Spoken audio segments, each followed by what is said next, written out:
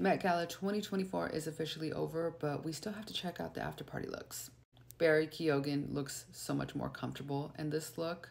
I kind of want to put this outfit on myself. Bad Bunny, definitely wearing Bottega, at least the bag is. I love the trench. It's perfection. I'm sorry, but Kendall Jenner, she gave us two after party looks and they were both absolutely gorgeous. Starting with this one, Givenchy, perfection. It's so ethereal and fairy like.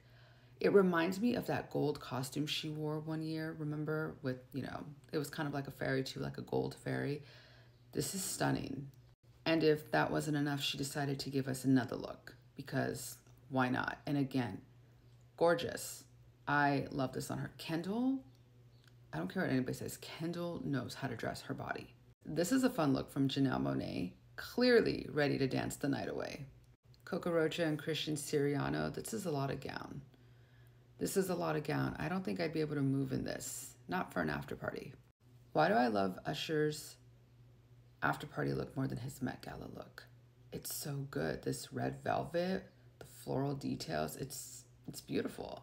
As much as I love Emily Ratajkowski, I would love to see her in something different because somebody else said this too. It's literally the same thing over and over, just undergarments with something see-through on top.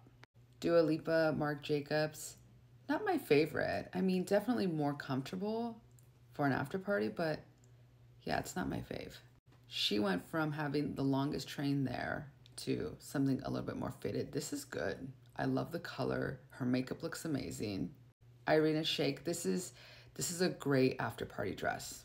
I love it. I love all the details on it because for the Met Gala, she wore a long gown, so it just makes more sense to wear something a little short, a little bit more fun.